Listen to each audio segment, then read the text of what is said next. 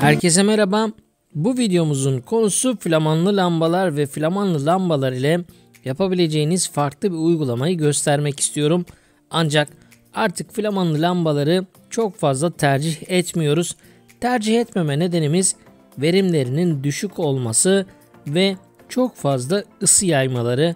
Aslında bu videonun ana konusunda bu meydana getirecek yani flamanlı lambaların yaydığı ısıyı kullanacağız. İsterseniz lambamızı birazcık yakından inceleyelim. Lambaya yakından bakacak olursak lambanın merkezinde bir flaman olduğunu, bir rezistans olduğunu görebilirsiniz. Elektrik enerjisiyle birlikte bu rezistans ısınarak ışık ve ısı yayıyor. Biz de tam olarak bu özelliğini kullanacağız ve birlikte farklı bir uygulama yapacağız. Elimde gördüğünüz arızalı kartta olduğu gibi bazen küçük bir entegreyi yerinden çıkartmanız gerekebilir. Buradaki entegremiz arızalanmış bunu çıkartmamız gerekiyor.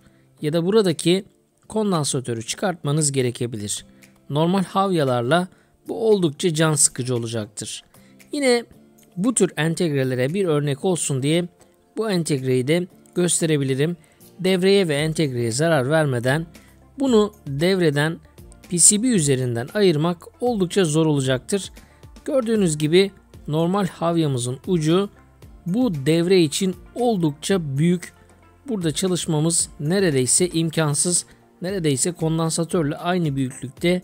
Burada lehimi diğer yerlere bulaştırmadan ya da diğer parçalara zarar vermeden buradan çıkartmak normal bir havyayla neredeyse imkansız. Yine farklı bir havya ucu da şöyle göstermem gerekirse buraya oldukça büyük gelecektir. Ya da kullandığınız havya böylesine uzunlamasına bir entegrede belirli bir noktayı ısıtana kadar diğer nokta soğuduğu için bu entegreyi ve PCB'ye zarar vermeden sökmek imkansız hale gelir. Bu durumun tabii ki bir çözümü var. Sıcak hava tabancası. Ancak sıcak hava tabancası herkesin elinde olmayabilir ya da maddi imkansızlıklar nedeniyle böyle bir sıcak hava tabancasına sahip olamayabilirsiniz. Aynı işlemi yapacak oldukça basit bir yöntemi bu defa sizlere anlatmak istiyorum.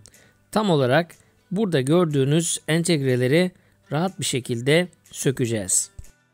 SMD parçaları sıcak hava tabancası olmadan rahat bir şekilde sökebilmek için bir araç far ampulünden faydalanacağız. Elimde gördüğünüz bir araç far ampulü ve yaklaşık olarak 60 watt gücünde bu ampulü sanayiden 25 ila 35 lira gibi bir fiyata bulup alabilirsiniz.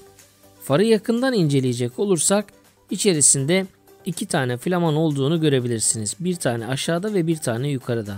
Yukarıdaki flamanımızın ise bir reflektör yardımıyla ışığının ve sıcaklığının belirli bir noktaya yönlendirildiğini görebilirsiniz. Biz de tam olarak buradaki flamanı kullanacağız. Yani ampulümüzün buradaki kısmından faydalanacağız. Buradaki ışık ve ısıyı sökmek istediğimiz parçaya yönlendirerek işlemi gerçekleştireceğiz. Lambayı çalıştırmak için ben ayarlı güç kaynağımı kullanacağım. Ancak siz 12 volt 7 amperlik bir akü de kullanabilirsiniz. Burada tercih tamamen size bağlı. Gördüğünüz gibi çalışmasını istediğimiz bölüm yani reflektörlü olan kısım çalışıyor. Yine ayarlı güç kaynağı kullanmanın başka bir avantajı buradaki voltajı değiştirerek sıcaklığı da kumanda edebiliriz. Ancak ayarlı bir güç kaynağınız yoksa sabit bir kaynakta kullanabilirsiniz. Şimdi arızalı kart üzerinde bulunan entegreyi yerinden çıkarmaya çalışacağım. Gördüğünüz bu entegreyi buradan lamba yardımıyla sökeceğiz. Lamba üzerinde bulunan reflektörü sökmek istediğim parçaya doğru çevirerek sabitliyorum. Ardından güç kaynağım üzerinden lambaya enerji vererek lambanın ısı ve ışık yaymasını sağlıyorum. Şimdi yavaş yavaş buradaki entegremizin ısınmasını ve yerinden çıkmasını görebilirsiniz. Buradaki entegrenin ne kadar çabuk ısındığını görebilmeniz için videonun süresini kısaltmayacağım. Zaman zaman elimdeki cımbız yardımıyla entegreyi kontrol ediyorum. Henüz gördüğünüz gibi bir değişiklik olmamış. Şimdi biraz daha bekleyerek devam ediyoruz. Ve bir 20-25 saniye sonra entegrenin rahat bir şekilde çıktığını görebilirsiniz. Bu defa ise kart üzerinde bulunan başka bir transistörü çıkarıyoruz. Herhangi bir zarar vermeden transistörümüzü yerinden çıkarttık. Kart üzerindeki başka bir transistörü çıkararak devam ediyorum. Işığımızı transistörümüze doğru tutuyoruz ve bir 14-15 saniye içerisinde transistörün lehimlerinin gevşediğini ve kart üzerinden rahatça çıkarılabilir hale geldiğini görebilirsiniz. Bu defa arızalı bir Arduino üzerinde bulunan çipi çıkaracağız. Şöyle lambamızı çipimize yaklaştırıp ışığımızı odaklıyoruz.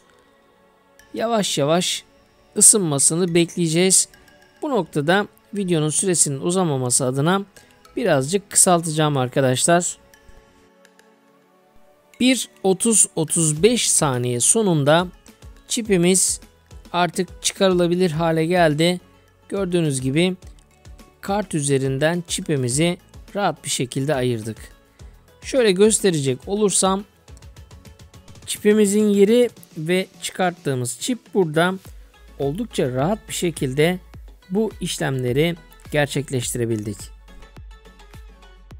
Arduino kartı üzerinde bulunan voltaj regülatöründe yine aynı metotla yerinden çıkartacağım. Lambamızı odaklayıp yaklaştırdık ve ışığını ayarladıktan sonra tek ihtiyacımız olan şey birazcık zaman. Yine bir 15-20 saniye bekledikten sonra cımbız yardımıyla voltaj regülatörünün gevşeyip gevşemediğini kontrol edeceğim. Videonun süresi uzamaması adına bu süreyi birazcık kısalttım. Gördüğünüz üzere voltaj regülatörümüzü cımbız ile tutarak yerinden rahatça çıkarttık. Videonun başında gösterdiğim entegreyi bu defa olduğu yerden çıkartacağız. Yine PCB'ye ve entegreye zarar vermeden bu işlemi gerçekleştirmeye çalışacağım. Zamandan tasarruf etmek için birazcık kısalttım arkadaşlar. Gördüğünüz gibi entegremiz neredeyse çıkmak üzere. Şu an ısınmaya devam ediyor. Bir 30-35 saniye kadar bu şekilde bekleyeceğiz. Ara ara cımbızımız ile kontrol ediyoruz ve artık entegremiz yerinden çıktı. Gördüğünüz gibi PCB'mizde ya da entegremizde herhangi bir zarar yok. Tabii ki elimdeki cımbız bu iş için uygun değil. Yine uygun malzemelerle rahat bir şekilde sökme işlemlerinizi gerçekleştirebilirsiniz. Entegrenin yuvasını da böyle yakından gösterelim. Böylece bir videomuzu ve bir projemizi daha tamamladık. Bir sonraki videomuz ve projemizde görüşünceye değin hoşçakalın. Bana destek olmak için abone olmayı ve videolarımı beğenip paylaşmayı unutmayın.